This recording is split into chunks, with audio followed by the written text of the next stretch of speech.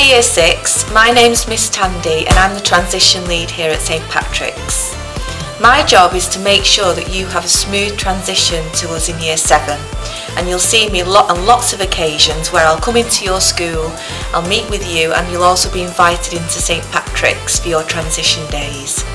What we want to do is make sure that you feel really welcome and you feel really prepared for Year 7. Now I'm also an English teacher at St Patrick's so it might be that you're in one of my classes in Year 7 and if you are I really look forward to that. But in the meantime, if you have any questions about transition, you can always get in touch with me at St Patrick's.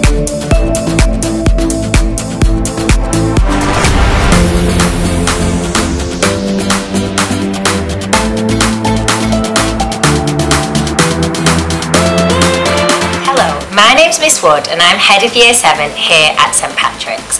I work alongside Mrs Tandy and I will be meeting you along with your Year 6 teachers sometime soon. When you arrive here in September at St Patrick's, I will be your main port of call alongside all your form teachers. I will see you every single day. You'll be safe and you'll feel welcome here.